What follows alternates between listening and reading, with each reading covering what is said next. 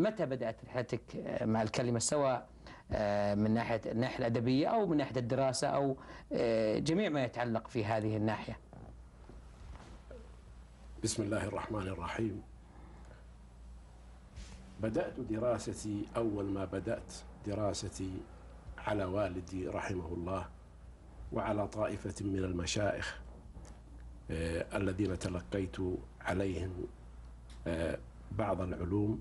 في الدرعية وفي الرياض وفي غيرها.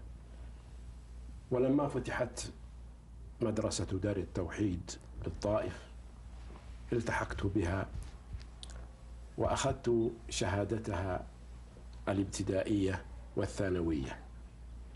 ثم التحقت بكليتي الشريعة واللغة بمكة المكرمة فأخذت شهادتهما. وفور تخرجي تعينت مديرا لمعهد الأحساء العلمي. نعم.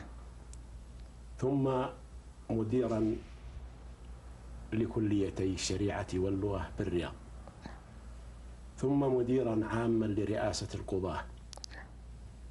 ثم وكيلا لوزارة المواصلات. ثم رئيسا لمصلحة مياه الرياض.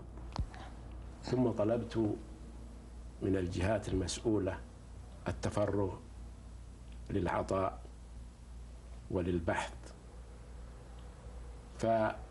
فوافقوني جزاهم الله خيرا وأحالوني إلى التقاعد بكامل راتبي.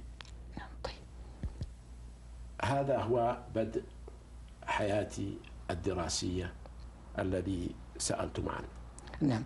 آه، لو سألتك أنت استعرضت آه، المجالات العمل أين وجدت نفسك في أحد هذه المجالات التي عملت بها؟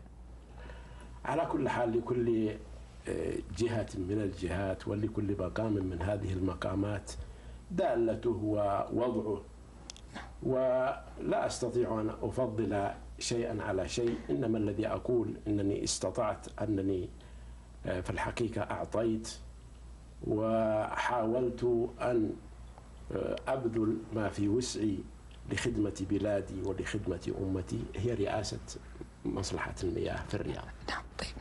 هذا ما يتعلق في مجال ال- العمل الرسمي. طبعا أنت إلى جانب العمل آه، الرسمي في كل الأعمال التي تو- توليتها وتقلدتها كنت في الواقع في مجال الكلمة في مجال الصحافة في مجال الأدب. لو تحدثت لي عن آه، هذا المجال في بداية حياتك سواء على المستوى الأدبي أو الصحفي وأعمالك في هذه الناحية.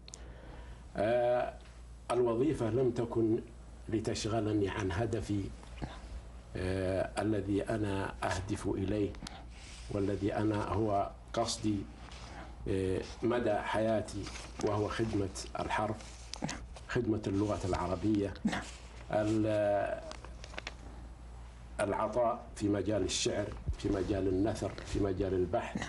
في هذه المجالات المتعددة إلى جانب هذا كنت أؤدي وظيفتي وإلى جانب هذا كنت أعطي ما أعطي في هذه الجوانب التي عددتها البحث في الترجمة في ال- الشعر في التأليف نعم. وما في الصحافة نعم. وما إلى ذلك نعم